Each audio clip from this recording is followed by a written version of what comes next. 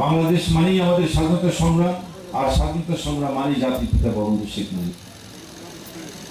আমাদের এই স্বাধীনতা উনিশশো পঁচাত্তর সালের পনেরোই আগস্টে জাতির পিতাকে হত্যার পর যারা রাষ্ট্র ক্ষমতা দখল করছেন তারা এই স্বাধীনতার ইতিহাসকে বারবার বিকৃত করার চেষ্টা করেছে।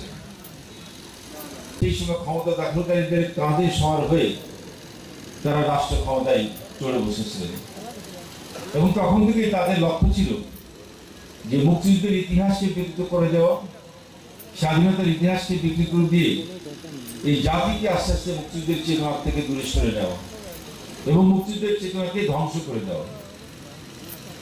আমরা বহু বিতর্কিত ইতিহাস আমরা শুনেছি। বাংলাদেশের স্বাধীনতা, স্বাধীন বাংলাদেশ, এটা কিন্তু কোনো আলোচনার টেবিলে বসে স্বাধীন হয় নাই। বা এটা কোনো একটা ভাষণও যেমন হয় নাই বা একটি হুইসেলের বাসির আওয়াজে কোনো স্বাধীনতা আমাদের হয়নি মুক্তিত হয়নি। এই স্বাধীনতা সংগ্রামের একটা দীর্ঘ প্রেক্ষাপট আমাদের আছে জাতির পিতার নেতৃত্বে। সাতচল্লিশে দেশভাগের পরেই পাকিস্তান যখন এই রাষ্ট্রটা প্রতিষ্ঠিত হলো, সেই সময় পশ্চিম পাকিস্তানের অবাঙালিরা, তারা এই পূর্ব পাকিস্তানের সংশ্লিষ্ট বাঙালিকে শোষণ, নিপীড়ন, নির্যাতন শুরু করেছেন। এবং শুরু থেকেই তাদের এই নিপীড়ন নির্যাতন এবং শোষণ বঞ্চনার প্রতিবাদ করেছিলেন আমাদের জাতির পিতা বঙ্গবন্ধু শেখ মুজিব। উনি সেই সময় ছাত্র অবস্থা থেকেই প্রতিবাদ করেছিলেন। তরুণ অবস্থা থেকে। এরপরে উনিশশো আটচল্লিশ সালে ছাত্রলীগ প্রতিষ্ঠা করেছিলেন।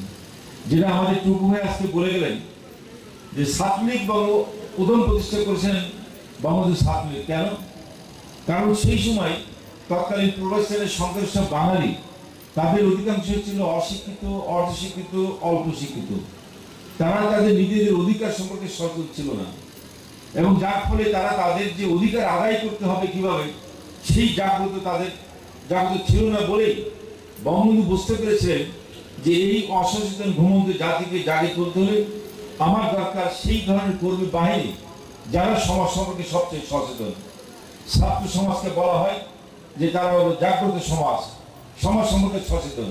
সেই জন্য প্রথমেই ছাত্রদের নিয়ে সংগঠন করলেন ছাত্রলীগ।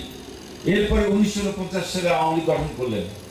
এবং তখন থেকেই বঙ্গবন্ধু এই পাকিস্তানের শাসক গোষ্ঠীর বিরুদ্ধে বিভিন্ন অন্যায়ের প্রতিবাদ করছেন। আটচল্লিশে যখন পাকিস্তানের সরকার সিদ্ধান্ত নিলেন যে পাকিস্তানের রাষ্ট্রভাষা হবে একমাত্র উর্দু, তখন তার প্রতিবাদ করেছিলেন কিন্তু বঙ্গবন্ধুর নেতৃত্বে এই বাংলাদেশে ছাত্র সমাজ, যুব সমাজ। বঙ্গবন্ধুকে গ্রেপ্তার করা হয়েছিল।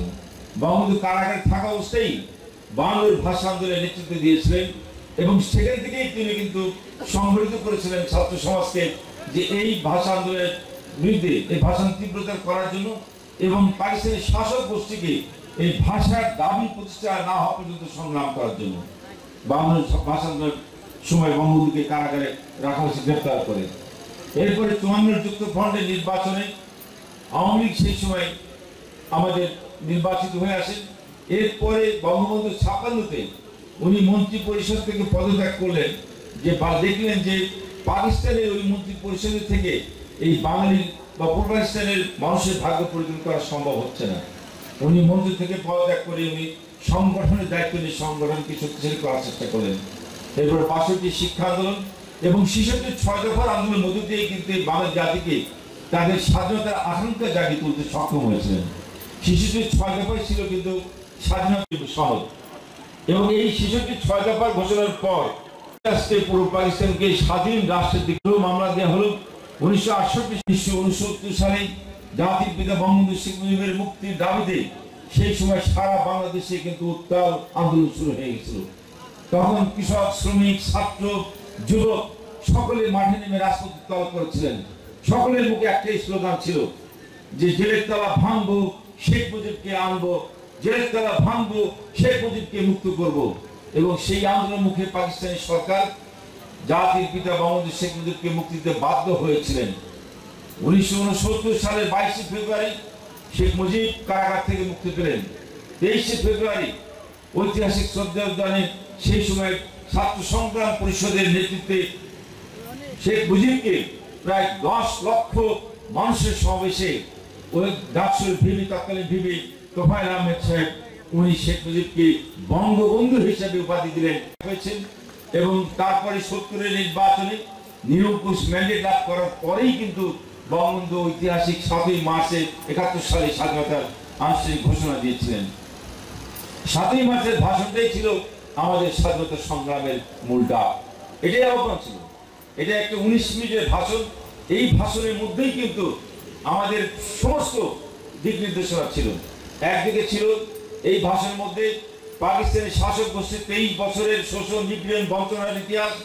আরেকদিকে ছিল এই শোষণ, নিপীড়নের বিরুদ্ধে আওয়ামী লীগের নেতৃত্বে আন্দোলন, সংগ্রামের ইতিহাস। আরেকদিকে ছিল আগামী দিনে স্বাধীন রাষ্ট্র প্রতিষ্ঠার জন্য বঙ্গবন্ধুর সুনির্দিষ্ট দিক নির্দেশনাপূর্ণ তার নির্দেশনা ছিল এই ভাষণের মধ্যেই।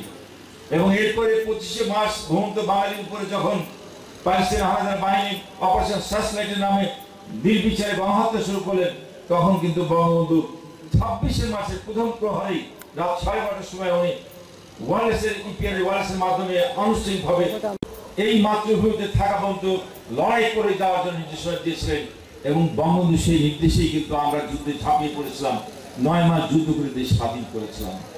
এই যে স্বাধীনতার এই আকাঙ্ক্ষা স্বাধীনতার সংগ্রাম এবং স্বাধীন রাষ্ট্র প্রতিষ্ঠার ক্ষেত্রে বঙ্গবন্ধুর সঙ্গে তার সহচরা ছাড়া আর কারও কোনো এখানে কোনো ভূমিকা বা কোনো অবদান, কোনো কিছু এখানে দেখার সুযোগ নেই। এখানে ছিল না এবং এটা ছিল থাকার প্রশ্ন ওঠে না। এটা একক হচ্ছে, একক নেতৃত্ব ছিল জাতির পিতা বঙ্গবন্ধু শেখ রহমানের আজকে বঙ্গবন্ধু কিন্তু একটা স্বপ্ন আমাদের দেখিয়েছিলেন, জাতিকে কোথাও কোথাও একটা স্বপ্ন দেখিয়ে।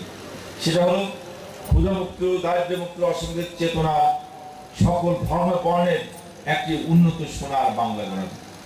সেই সোনার বাংলা গড়ার জন্য পতাকাভুক্ত হয়ে গেল। আমাদের সেই স্বপ্নকে হত্যা করা হলো।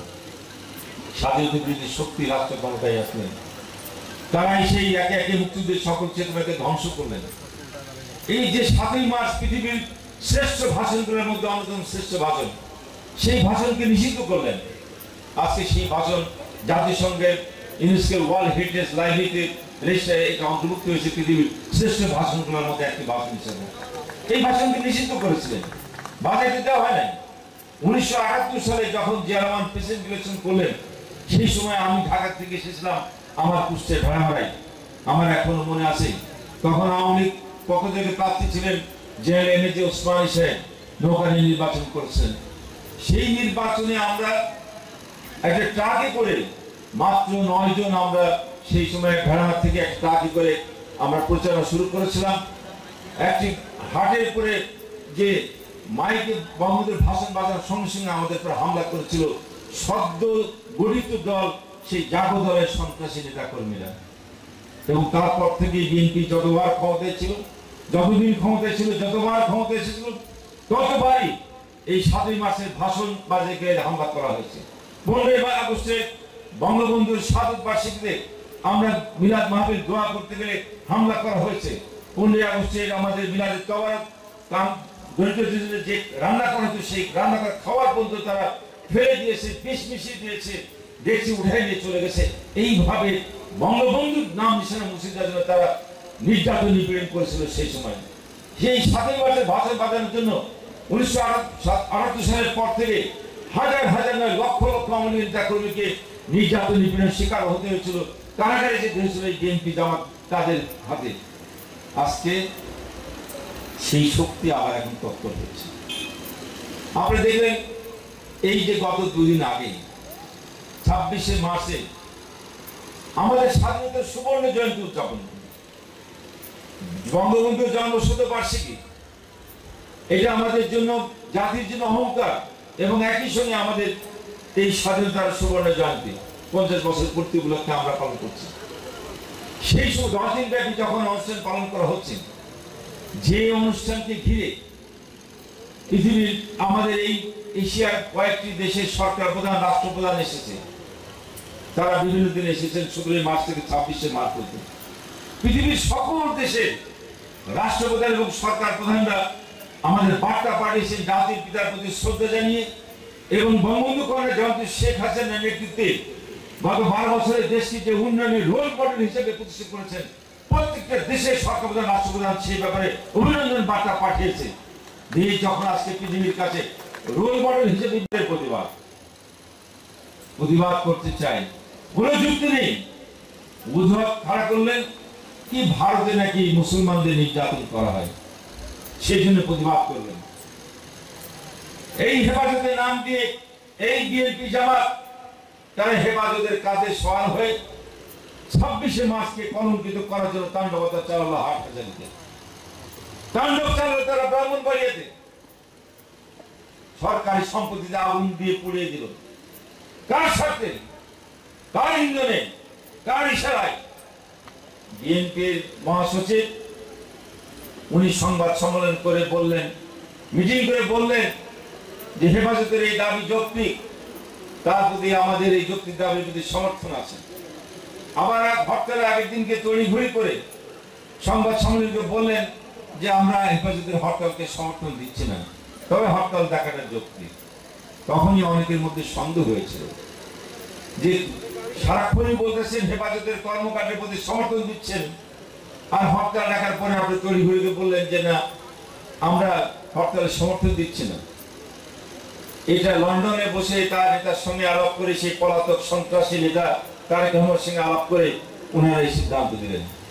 এই সিদ্ধান্তের আড়ালে, ঘোষণার আড়ালে তাদের যে লক্ষ্য ছিল, হেফাজতের কাজে ভর করে দেশে আরও অরাজকতা সৃষ্টি করে, সন্ত্রাসী নাশক কর্মকাণ্ড করে সরকারি বেসরকারি সম্পত্তি ধ্বংস করা, মানুষের জানমালের ক্ষয়ক্ষতি করাই সাথে তাদের লক্ষ্য ছিল। সেটা প্রমাণ পাওয়া গেল। তাদেরই নেত্রী একজন, তার নেতাকে টেলিফোন করে গাড়ি পোড়ানোর জন্য নির্দেশনা দিয়েছেন এবং বলছেন যে গাড়ি আগুন দিয়ে পুড়িয়ে সেটা ভিডিও করে আমাকে হোয়াটসঅ্যাপ পাঠান, এটা জায়গা মতো পাঠাবো জায়গা কোথায়? জায়গা লন্ডনে। লন্ডন থেকে বসে এই সন্ত্রাসী, এই কুখ্যাত সন্ত্রাসী মাফিয়া তারেক রহমান, পলাতক আসামি বিদেশে বসে, ওখান থেকে বসে এই হেফাজতের কাজে ভর করে দেশকে অস্থিতিশীল করার চেষ্টা করেছে। স্বাধীনতার সুবর্ণ জয়ন্তীকে কালিমা লেপন করার চেষ্টা করেছেন। আজকে তারা আবার মুক্তিযুদ্ধের পক্ষে কথা বলতে আসে। আমি বহুবার বলেছি, এই মির্জা ফখরুল সাহেবরা কেউ মুক্তিযোদ্ধা ছিলেন না। ওনার বাবা ছিল স্বাধীনতা বিরোধী, উনি ছিলেন স্বাধীনতা বিরোধী। উনি স্বাধীনতার ওনার পক্ষে স্বাধীনতার মুক্তিযুদ্ধের সেই আবেদন বা মুক্তিযুদ্ধের সেই আবেগ মুক্তিযুদ্ধের অনুভূতি, মুক্তিযুদ্ধের প্রতি সমর্থন আসবে কীভাবে? আসার কথা নয়। এরা নামে এখানে দু একজন, এই দলের মধ্যে দু একজন মুক্তিযোদ্ধা আছেন। কিন্তু বহু আগে তারা সেই মুক্তিযোদ্ধার থেকে, তাদের সেই মুক্তিযোদ্ধার চেতনা থেকে বিচ্ছিত হয়ে